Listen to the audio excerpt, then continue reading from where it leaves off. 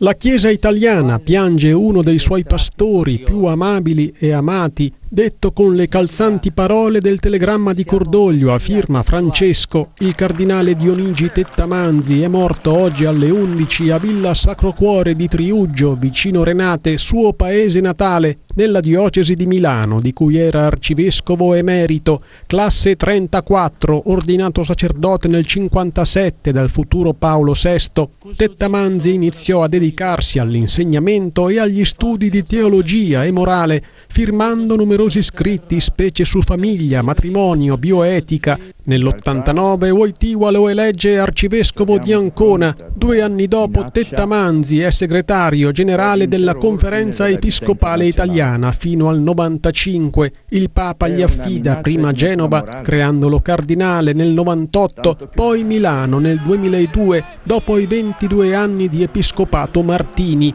Da cento e più anni un cardinale arcivescovo non era spostato di sede. Il suo nome sui giornali ricorre spesso per il dopo Wojtyła. Oltre alle doti di studioso, Tettamanzi si fa apprezzare dalla gente per l'umanità semplice e cordiale. Dalla cattedra di Ambrogio lascia segni profondi, con idee come il Fondo Famiglia Lavoro per le vittime della crisi, con la spiccata sensibilità pastorale per le famiglie ferite, ad esempio, con gesti e parole incisivi su fronti come lavoro, casa, disagio sociale, migranti, minoranze religiose.